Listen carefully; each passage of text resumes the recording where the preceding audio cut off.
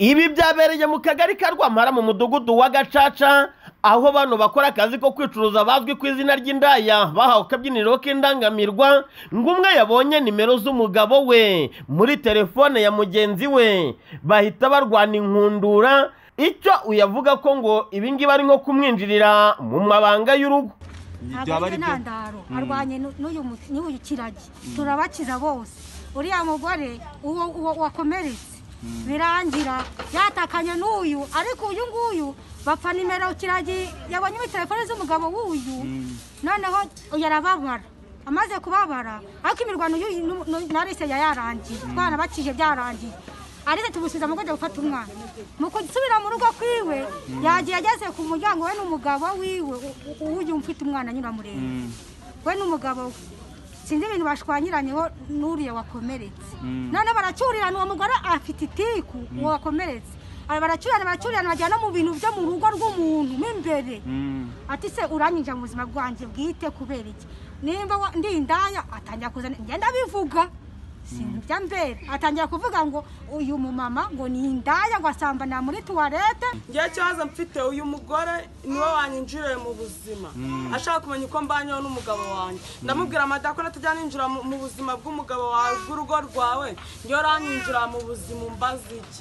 Rangije aravuga ndani ndamubwiye se mada ko aroze nawe nagashyira akagira imana natwe umwana wanjye wamuhumanyirije iki? Ngewe hari ikibazo mfitanye nawe. Aje agiye kunsubiza hamwe ngo niba yaramuroze aramaze ngo ninjye ku kagari nese ubu iryo ni ijambo ari kunsubiza nk'umuntu wari ufite icyaha namubazaga. Ahubwo dore icyuma yari agiye kudutera singa iki cyuma yari agiye kudutera se ko ari uko yikubise hasi icyuma kikabarara gutya ntabwo icyo cyuma ntabwo yari atwishe. Icyo cyuma urakizana ugiye kukinera cyitura hasi. Abantu bose baba bari ku muhanda barahagaze ku mabati batureba. Baraza baradukiza batwitambikamo. Uyu mumama nawe wa- wazamutse n'umugabo we ahita amanuka. Amaze kumanuka araza twese dufatanya imirwano si ukubeshya dufatanya imirwano uriya mugore. Bamukijije nanjye barangiza. Habura n'umwe wareka undi wareka undi afata amabuye aradutera turakwepa. Keri wampaye agahenge muvandi. Njye ukuri simbera aba ni abayobozi bacu. Nimba hari aho babona umwe yakoze ikosa cyangwa nimba babona nakoze iryo kosa. Iki cyuma ariko cyo cyo. Nawe turakigira na yo gutunze. Mwese muri indaya nimba mwese muri indaya wahaye agaciro k'aya mafaranga bamuhere muri tuwarete nk'uko n'abayaguhera mu nzu. We ntabwo ujya gusama mbese muri make intandaro byose ni uko bapfuye yuko yavuze ko asambanya muri Cyane. toilette. Imirwano ira- mm, ariko imirwano yari yarangiye mutayishyiramo imirwano yari yarangiye. Noneho arisese umugabo wese agufata uri kumva? Aramuzamuka turamubwira twese twaba twanabimushyigikiyemo ari umugabo fata umugore amwizamuke mwigendere byagabanutse yego. Umugabo rwose aramufata barizamukira. Uyu nguyu abazanya amagambo aravuga mama nanjye irasohokana icyuma icyuma byanabyemera yagisohokanye bano bagore bose bamuteranye nanjye nari ndimo umwuka wamereyemo ndimo ndakiza muri make mama mwarwanye mwese bo twese icyuma icyuma mama yari afite nta kimwambaye njya gukinaga mu nzu uwaje aje gukiza bamukubise inkamba y'ibuye mu gahanga umutwe barawumena impamvu z'ibi ngo ni uko bamushinjaga ko ngo yaba yaramurogeye umwana. Twegereye uyu mukobwa waviriranaga. Agahanga ubwo bari bari ku kagari ka rwamara mu ijwi rye avuga ko ngo atarazanye icyuma cyo kubatera nk'uko babivuga. Ngo ahubwo kino cyuma yari arimo kugihatisha ibitoki byo guteka bakaba bamushinja ko ngo yaba yararoze umwana wabo kandi ngo abeshyerwa n'abarega bahamagara kuri polisi baba kuki mutangira ngo muvuze umuntu ukamuzana ameze tugende bakuvure kereka nituzamukana nabo tuhama tukajya kuri polisi yabanje arwana na kirajya uriya turamukiza hama baranuka babiza ku burozi ngo namurogeye umwana ngo ibiki umwe aramfata turi kurwana undi aturuka ruguru abahubuye ibuye ararinkubita baniraniraho bose. Ko mbona uri kuva amaraso ba- niba yagukubise ibuye bankubise kiriya cyuma tubonye hariya se kiriya cyuma nasohotse nyifite mu ntoki nari ndi guhata ibitoki.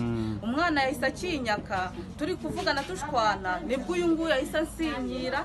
Babaneraniyeho uyu uriya mugore ufite umwana yari yazamutse mugabo afite bamwe mu baturage birinze kugira icyo bavugana natwe ngo kubw'impamvu z'umutekano wabo bashimangira ko ngo ikibazo cy'umutekano muke gikomeje kugaragara muri aka gace ka rwamara ngo bitewe n'ubwiyongere bw'indaya. Bagasaba ko ubuyobozi bwakagombye kugira icyo bukora kuri iki kibazo ngo naho ubundi bitabaye ibyo bazahora mu mutekano muke bakomeje guterwa n'izi ndaya. Ngo ahanini ziba zipfa abagabo zikarara zirwana ijoro ryose abandi ntibabashe kugoheka. Kuri iki kibazo twagerageje kuvugana n'umunyamabanga nshingwabikorwa w'umurenge wa nyarugenge mukandahiro hidaya inshuro zose twamuhamagaye ntiyigeze twitaba tunamuhaye ubutumwa bugufi ntiyabusubiza tukaba turakomeza kubikurikirana kugira ngo tubashe kumenya umuti ugiye gufatwa. Kuri uyu mutekano muke ukomeje guterwa n'izi ndaya. Dore ko nubwo twakoraga iyi nkuru bamwe mu banyerondo bashatse gukubita itangazamakuru. Ngo iyi nkuru itajya ahagaragara ariko bikanga bikaba iby'ubusa nubwo twayifashe mu buryo bugoranye cyane. Ikibazo cy'ubwiyongere bw'indaya ntabwo kigaragaye muri aka kagari ka rwamara gusa kuko ari ikibazo gikomeje gufata indi ntera mu mujyi wa kigali. Dore ko hari n'abaherutse kuganira natwe bavuga ko bakagombye gufashwa na leta bakaba basubira aho bavuka. Ngo dore ko n'ubuzima muri kigali bwabashaririye ngo n'abagabo bakaba barabuze ngo bitewe n'iki cyorezo cya kovide cumi n'icyenda. BTN TV mu kagari ka Rwamara mu murenge wa Nyarugenge ho mu mujyi wa Kigali. Ndindahiro Valence Papi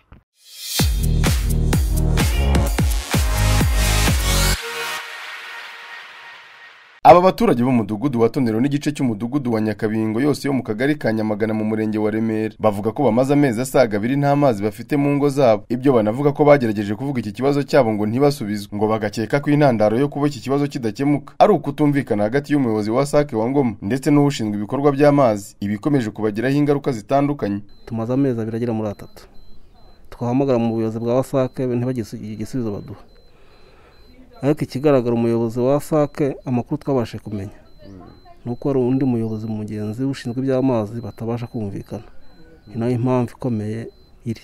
Ntabwo tuzi aho bipfira nta gisubizo baduha baravuga ngo baraza kureba ariko ntabwo baraza ngo bakemure ikibazo dufite cy'amazi. Kuko tumaze amezi abiri nta n'igitonyanga tuba ubuzima bwarahagaze nese wabaho nta mazi ufite mu rugo?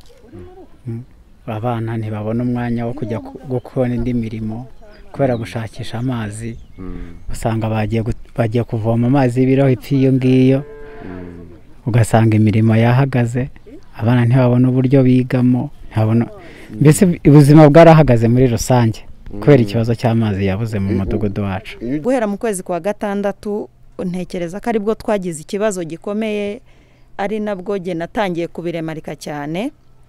Kuko mu kwezi kwa gatandatu ndabyibuka neza twavomye iminsi ibiri gusa. Ngira ngo namwe murabibona robine zarumye uretse guhindura amatiyo yanaguye umugese ngira ngo namwe murabibona. Kandi ayo mazi na yo iyo udafite uyakuzanira ijerekani kugeraho ihagaze amafaranga hagati ya magana abiri n'ijana na mirongo itanu ni igiciro gikomeye kuko niba nkoresha amabido hagati y'atandatu n'icumi nk'abantu boroye bafite amatungo nk'inka byo biba bigoye. Uburyo bwo nyine urabizi amazi niyo akora.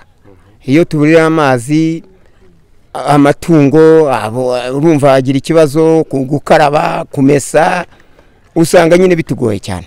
Amazi hano kubona n'aho uyagura ni ikibazo. Nta n'aho wayagura ni kuri kiyosike no kuyabona ntabwo biba byoroshye. Iyo uyabonye ushobora guhagarara angahe? Ibido ku munsi ni magana abiri. Ibidimwe nawe noneho tekereza nk'amatungo utekereze n'abantu dukoresha ni ibintu bikomeye no gufura ni ikibazo aba baturage bahuriza ku gusaba ko bahabwa amazi nk'abandi cyangwa ngo bagasobanurirwa impamvu ibitera. Icyo dusaba ni ubufasha bukomeye bakaduha amazi natwe kuko simbona impamvu rwose pe tutabona amazi. Turifuza ko ubuyobozi bwatubariza bakaza kureba ikibazo cy'amazi bakagikurikirana bakareba bakagikemura. Kuko turananiwe pe. Abaturage twavuze amazi dufite ikibazo gikomeye cyane. Mu by'ukuri twifuzaga ko twamenya amakuru y'amazi byibuze niyo yajya aza rimwe mu cyumweru ariko bakaduha amakuru kuko turara ijoro ryose dutegereje amazi ngo araza ntituyabone.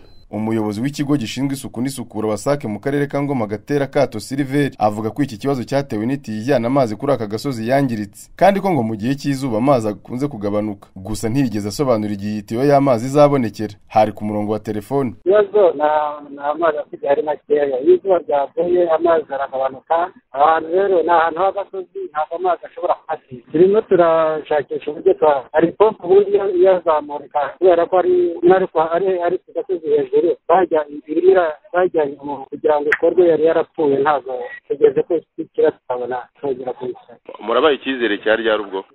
Nyine aho aho iyo pompo izakirira ni bwo nije kuko ishobora no kuko yari imaze igihe idakora ishobora no kuba bashaka iyindi nshaka iyindi nshyashya rero bimbara umwanya ntabwo. Ni ukwihangana hafi aho ngaho hari akazu k'amazi gahora kayafite bakiyangana bakajya bavoma aho ntabwo ari kure n'ubundi izi metero zigenwa zo kuvoma ku buvuzi bw'amazi ntabwo zirenze metero magana atatu ubundi ugateganya metero magana atanu ni ikibazo abaturage bavuga ko gikomeje kubahangayikisha ibyo basaba inzego zitandukanye kubafasha bakabona amazi. Dore ko ngo n'iyo bayabonye bayagura ku mafaranga ari hagati y'ijana na mirongo itanu n'amafaranga magana atanu. Yusufu ubona bagenda btn mu karere ka ngoma.